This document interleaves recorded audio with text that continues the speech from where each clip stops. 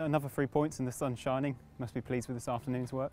Yes, I'm pretty happy uh, with this uh, game today, and uh, you couldn't um, blame and criticize my lads for the last two games uh, because uh, the Bournemouth loss was more or less like just a few hours before we were just promoted. Then the difficult game with red cards, some key decisions against us, also injuries of uh, of key players was was a bit difficult. And the Watford game came just two and a half um, days later after after big celebration. So no chance anyhow to blame or to criticize my my players for these two defeats.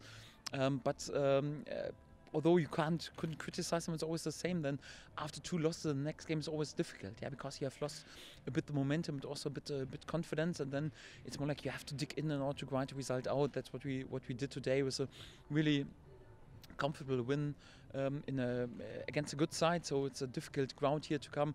QPR, I think they are on position three in the form table over the last uh, 20 games. A good football side. The Brave side, You also went for this uh, game, had a good performance as well, but some offensive scenes. But um, I think we deserve today to win this game and score three fantastic goals. Had also a few chances uh, more to to finish the game. At perhaps one or two moments when we could have been a bit more serious against the ball. But it was also the third game within uh, seven days after yeah, difficult and, and, and busy uh, seven seven days with all the celebrations. And for that, I'm quite pleased with the response with this win and uh, many compliments today uh, to my lads.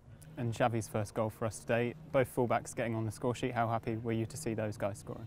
Yes, really happy because it's it's important. Uh, sometimes you need to win also games with goals from your defensive players, and uh, yeah, we have we have the quality. Yeah, Xavi got got a bit of criticism after uh, after his uh, game uh, against against Watford. Yeah, he had to defend. Sarr was not in his uh, rhythm, and he was just a second game within seven months, and and he responded to it was a really good game and a great goal. He has his technique to put some crazy curves into the ball, and of course the goalkeeper would have wished to done a little bit better. But uh, I think also like it's also due to the technique of, of Xavi was a great, a great strike, and and uh, Max Aarons also that's what we want. He, we also always want him to be proactive, also to uh, attack the second post. And after a great uh, pass of Kenny McLean, then he was totally composed with his finish on the second post and great goals and important goals, and pretty pleased with both of them. It was 2 1 when you brought Jacob Sorensen on. Was that partly a defensive thing? Was it also to allow McLean to get a bit further forward and, and, get another assist as well?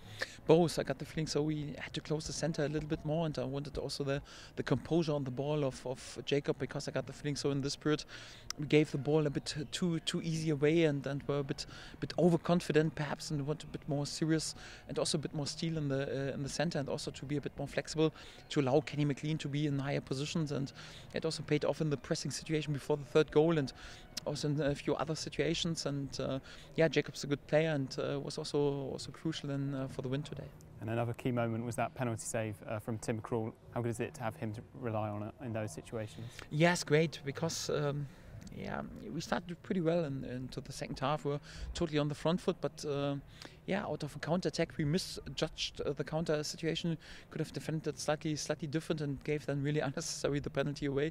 But we have the best goalkeeper in the league, and, and for that, there's also no surprise that he's there with, with uh, key moments in the game. And yeah, of course, great that he was able to save another penalty, and was quite important. I would have been uh, quite confident uh, to find the next gear again, if I'm if I'm honest, because I got a good good feeling today uh, in, uh, in, general. But of course, it was also a key moment, and many compliments to him. And finally, it was Todd Cantwell's 100th game for Norwich City today. Yet another player to reach that milestone in your, in your team yeah, sometimes uh, you forget anyhow to, to value how far these lads have, have come and also uh, what what Todd has done over the the past couple of years. Also how, how much he has grown up and the maturity in his performance is, is, is much better um, in, in comparison to the, his beginning days. But he's full of potential and great great lad, great great teammate. We're all happy that we have him. It's always great when you bring one of your local boys anyhow through, and there's also sometimes a bit more criticism than on the other um, uh, other other lads, but also yeah, great when he when he shines uh, like in the last couple of weeks, and uh, yeah, hopefully he can keep going exactly also in this way.